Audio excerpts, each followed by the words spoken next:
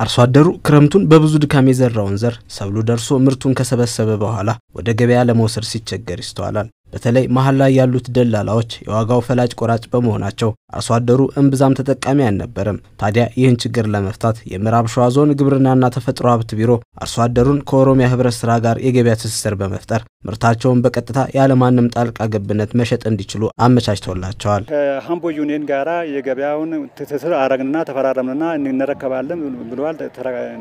ተፈራዳ የገበያ ትስስር እንግዲህ እንወስዳለን ብሎ ከዚህ ስንዘራ በምንዘራበት ቀን እንወስዳለን ብሎ ተፈራርመን ሄደዋል። almost የገበያ ትስስሩን ከዩኒየን ጋር ቀድም ሳይዘራ ነው የጨረስነው። አሁን መጥተዋል። ዩኒየን ምርቱን እያየው ነው። ምርት መረከብ ይጀምራል። እዚህ ድረስ ነው መጣው። እዚህ ድረስ ሚዛኑ ይዞ ይመጣል፣ purchaser ኡን ይዞ ይመጣል፣ መኪናውን ይዞ ይመጣል። እዚሁ ገዝቷቸው ወስዶ ይሄዳል ማለት ነው። ገና ዘር መዝራት ሲጀምሩ ውል የገቡት አርሶ አደሩና የኦሮሚያ ህብረት ስራ አሁንም ምርት በሚሰበሰብበት ወቅት ያለምንም ችግር ምርታቸውን እንደሚረከቡ የኦሮሚያ ህብረት ስራ ኤጀንሲ ኃላፊ አቶ ታረቀኝ ተናግረዋል። በክላስተር ኩታ ገጠም የተዘራውን ምርት እያየን ነው።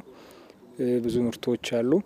ስለዚህ በእኛ በህብረት ስራ ማህበራትና ዩኒየኖች ቀድሞ የገበያ ትስስር ተፈጥሯል።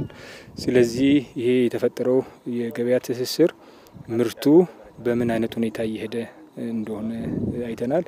ይሄን ምርት ደግሞ ሲሰበሰብ የህብረት ስራ ማህበራት ወዲያው በውላቸው መሰረት ይረከቡታል። አርሶ አደሩ ሽጦታል ማለት ነው። አርሶ አደሩ ምንም የገበያ ችግር እንደማይገጥመው የተናገሩት የህብረት ስራ ኃላፊው አዲስ አበባ ላይ ባለው ዋጋ መሰረት ጥናት ተደርጎ ምርታቸውን እንደሚረከቡ ገልጸዋል። አርሶ አደሩን የሚገጥመው የገበያ ችግር የለም። እንደ ኦሮሚያ ስናየው ዘንድሮ ጥሩ ምርታማነት ነው ያለው። ስለዚህ በዛ ደረጃ የህብረት ስራ ዩኒየን የሚጠበቅበትን ዝግጅት አድርጓል ማለት ነው። ምርቱ ቀጥታ ወደ ህብረት ስራ ዩኒየኖች የሚገባ ነው የሚሆነው። የገበያ ጥናት ተጠንተዋል። በአዲስ አበባ ዋጋ ነው የምረከበው። transportation cost ከዚህ አዲስ አበባ transport cost ብቻ ነው ዩኒየን የሚቀንሰው። አዲስ አበባ ላይ ባለው በወቅታዊ የገበያ ሁኔታ ነው የሚገዛው። ስለዚህ አሁን ያለውን የገበያ ሁኔታ ጥናት በማድረግ በተስማማ ነው በተፈራረሙት የ contractual agreement አለ።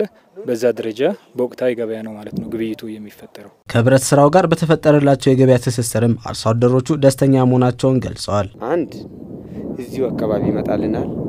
ሁለት ከነጋዴ እጅ መውጣታችን እግዚአብሔር ብሎ እውነት ከሆነ እንግዲህ ይህንን ሰማን እንጂ አላየንም። እውነቱ ነው።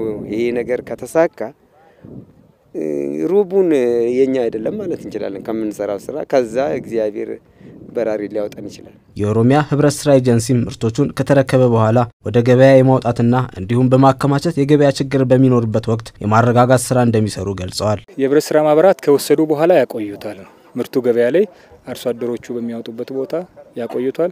የገበያ ክፍተት በሚፈጠርበት ወቅት ወደ ገበያ ያቀርቡትና ገበያን የማረጋጋትም ስራ ነው አብሮ የሚሰራው።